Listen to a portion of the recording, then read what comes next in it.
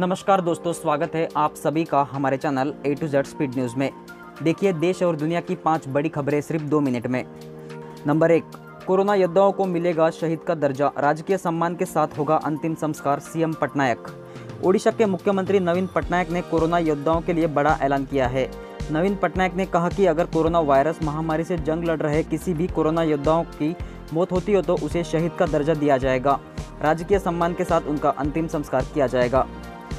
Number दो, police team और doctor पर पथराव करने वाले पाँच आरोपी भी कोरोना पॉजिटिव, पूरा थाना क्वारंटाइन। उत्तर प्रदेश के मुरादाबाद ज़िले में 15 अप्रैल को कोरोना संदिग्ध को लेने पहुँची स्वास्थ्य विभाग और पुलिस कर्मी की टीम पर पथराव करने वाले पाँच आरोपी को कोरोना संक्रमित पाए गए हैं। मंगलवार को आए 15 संक्रमित मरीजों में पाँच वे लोग हैं, जिन्होंने एक डॉक्टर और पुलिस की टीम पर हमला किया था। रिपोर्ट आने के बाद आरोपियों को पकड़ने में शामिल पुलिस कर्मियों सहित अफगानी थाने के स्टाफ को क्वारंटाइन कर दिया गया है।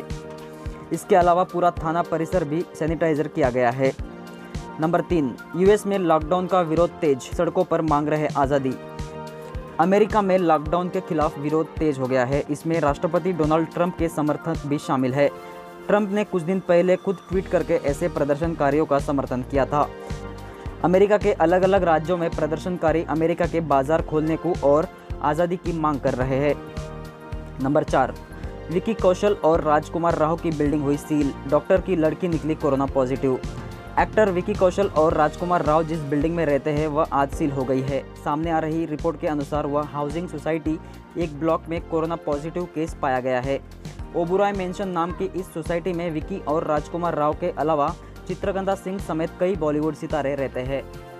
नंबर पाँच पाकिस्तान की बड़ी चाल वॉच लिस्ट से हटाए मुंबई हमले के मास्टरमाइंड समेत 4000 आतंकियों के नाम। कोरोना महासंकट के बीच पाकिस्तान ने खुद को Financial Action Task Force FATF की ग्रे सूची से हटाए जाने के लिए बड़ी चाल चली है। पिछले 18 महीने में पाकिस्तान ने आतंकी निगरानी सूची यानी टेररिस्ट वॉच लिस्ट से 3,800 आतंकियों के नाम हटा दिए हैं।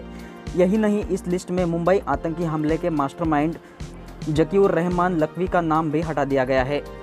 दोस्तों, इस वीडियो में बस इतना ही। देखते रहिए A to Z speed news धन्यवाद। जय हिंद।